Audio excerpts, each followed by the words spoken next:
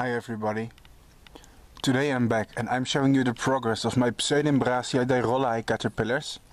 It's a silk moth from Africa and the caterpillars are, as I've uh, shown you before, quite shiny.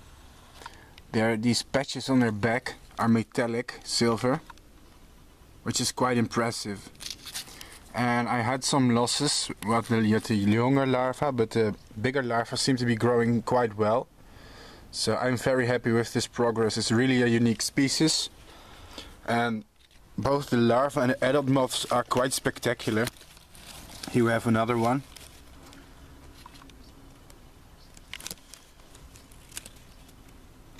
Ah, look at these blue dots on their body. It's brilliant. It's really one of the nicest species I had in my life and I've seen a lot of caterpillars. But these impress me. They're doing quite well on oak tree. Here we have a runt. It's a small one, just compare it to this one. I'm not sure if that small one will make it. Usually the small ones don't make it. I mean, it's survival of the fittest, even in captivity, with, if, if you're talking about insects.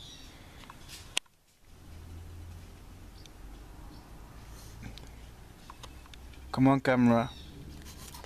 It's hard to focus on its body. Ah, there we go. Here now it's, now it's more clear. These dots are just beautiful. I don't know why they have these dots. Well, not that not that they need a reason, of course. It's just curious to see this kind of pattern. I mean, the metallic on their bodies is also kind of unique, but I wonder. I wonder if it serves any function. Really beautiful.